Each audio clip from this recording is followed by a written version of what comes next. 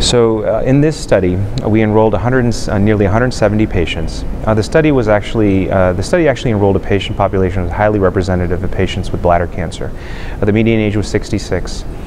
nearly 65% of patients had at least one prior line of chemotherapy, and so this was truly a, a second-line patient population that was enrolled. 81% of patients had visceral metastatic disease, including 32% of patients who had liver metastases, and so this represented a poor prognostic population enrolled in this trial.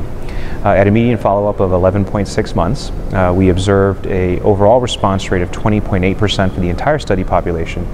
Uh, Post hoc, we also looked at responses based on PD-L1 status. Uh, PD-L1 was scored on archival specimens collected from patients uh, using the SP263 assay on the Ventana platform, whereby patients who had 25% uh, PD-L1 expression or greater on either tumor cells or immune cells were considered PD-L1 high and patients who didn't have that were considered PD-L1 low. So when we looked at the subgroups of patients who had uh, PD-L1 high levels, uh, the response rate was 29%, uh, uh, but also importantly, patients who had low levels of PD-L1 expression, the response rate was 15%, uh, suggesting that responses did occur across PD-L1 subgroups, however, they were enriched in patients who had higher levels of PD-L1 expression.